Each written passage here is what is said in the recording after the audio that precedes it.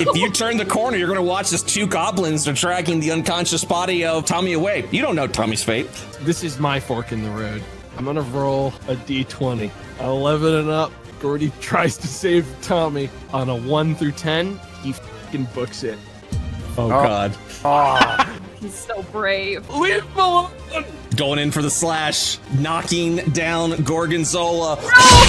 All right, so now with every party member knocked unconscious, now we're gonna have fate decide if Gordy Zarkowski lives or dies in this cave. One failure. Uh, and Oh a critical uh, miss my God. means Gordy instantly dies Oh right my there. Look, it always had to end like this. He grew a pair for once and he fucking died for it. He was so brave.